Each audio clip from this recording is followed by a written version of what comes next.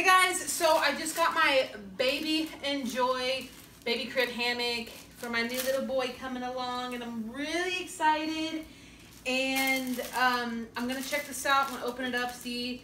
I've seen these before and I chose this one because I heard a lot of great things about it. Um, this is a little carrying bag that it comes with, really soft, like a velvety feel. And then the little laundry bag. So I'm um, gonna open it up and check it out. So this is a little laundry bag that it came with, which is perfect because I can throw it, the little hammock into the washer and dryer without damaging it. And I, I love this little sack.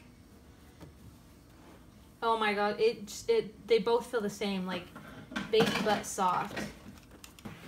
Okay, this is made really well. I feel super comfortable putting my baby on this.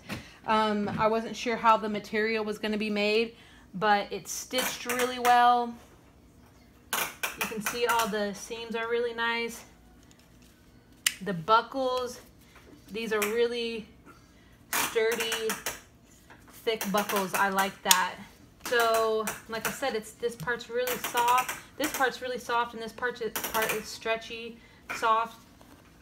And I'm going to hook it up on the crib and check it out. Okay, so I see that it's super easy to put on. These are heavy duty straps, so you don't have to worry about them breaking.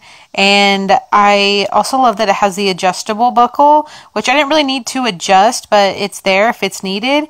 And the high quality buckle. Altogether, it's super soft. And they say that's skin friendly fabric and it feels like a soft baby skin. I love it. I can't wait to put my son in it.